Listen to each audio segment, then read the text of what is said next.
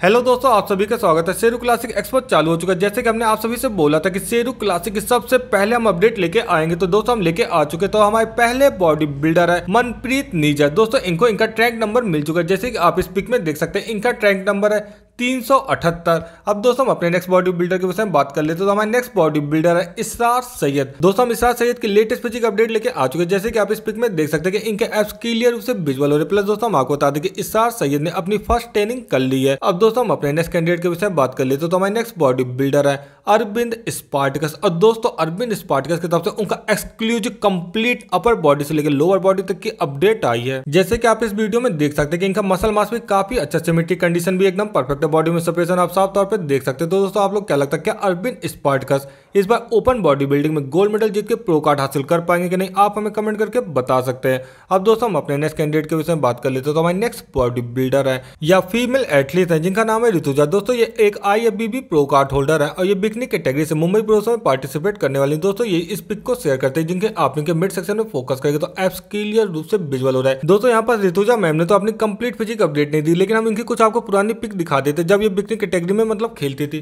तो दोस्तों, आप यहाँ पर दूसरी पिक देख सकते तो इससे मतलब आप कंपेयर कर सकते हैं कि प्रेजेंट टाइम की इनकी कंडीशन कितनी ज़्यादा बेटर हो गई है। आप इनके मिड सेक्शन से दोनों पिक को कंपेयर करेंगे। मिड सेक्शन जो पहली पिक है, वो कितना ज़्यादा सॉलिड लगा। और दोस्तों, ये पिक जो है, वो अभी केवल पाँच से छः घंटे पुरानी पिक ही है। तो दोस्तों, आप लोग क्या लगता है? क्या ऋतुजा मैम इस बार मुंबई प्रोसो को क्वालिफाई करके ओलंपिया जा पाएँगे नहीं आप हमें कमेंट करके बता सकते हैं। दोस्तों, अब हमारे नेक्स्ट बॉडी बिल्डर है, राजेश यादव। राजेश यादव ने अभी अपनी लेटेस्ट फिजिक अपडेट शेयर की। केवल पंद्रह मिनट पहले, जैसे कि आप यहाँ पर देख सकते हैं, उन्होंने कंप्लीट अपनी अपडेट दी upper body lower body front back हर एंगल से आप इनकी बॉडी देख सकते हैं। बॉडी में आप सेपरेशन साफ़ तौर पर देख सकते हैं। प्रत्येक मसल क्लियर रूप से विजुअल हो रही चाहे वो लेग की हो, चाहे वो चेस्ट की हो या फिर बैक की कंडीशन हो। बॉडी टॉप नॉच पे लग रही है, आप इनका मिड सेक्शन भी देख सकते हैं। कितना ज़्यादा सॉलिड लग रहा और बॉडी में फैट परसेंटेज काफ़ी कम है। लगभग तो इनके बॉडी में फैट परसेंटेज प्रेजेंट टाइम में चार से पाँच के आसपास। तो दोस्तों, आप लोग क्या लगता है, क्या Rajesh Yadav classic physique category Mumbai pro show को क्वालिफाई करके ओलंपिया के लिए जा पाएँगे कि नहीं? आप हमें कमेंट करके बता सकते हैं। अब दोस्तों, हम अपने नेक्स्ट कैंडिडेट के विषय में बात कर लेते हैं। तो हमारे नेक्स्ट बॉडी बिल्डर है मुकेश सिंह गहलोत। दोस्तों, जैसे कि आप यहाँ पर देख सकते हैं कि शेरू क्लासिक एक्सपो चालू हो चुका है मुकेश सिंह गहलोत को प्रेजेंट टाइम में सम्मानित किया जा रहा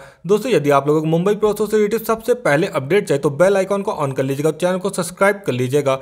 तो दोस्तों, अब हम आगे देख लेते हैं कि राहुल फिटनेस की तरफ़ से क्या अपडेट आई है।